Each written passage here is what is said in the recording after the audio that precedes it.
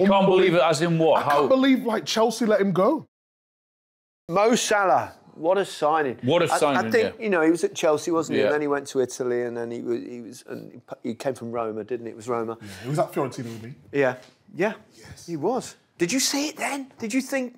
Said it many, many times. Yeah. I can't believe it. It was un- honestly, it was. You can't believe it, as in what? I can't believe like Chelsea let him go All right. Yeah. on loan, and then he went to, to Rome. Like Yeah, he how did they not see that, Chelsea? in. Mourinho, wasn't it? Was it Mourinho Yeah, I at times? think so, yeah. He used to get the ball in training, dribble past everyone, and just pass it into the net. Yeah. And he did exact same in the games. Yeah. And I was just like, how? Why is he not playing at Chelsea?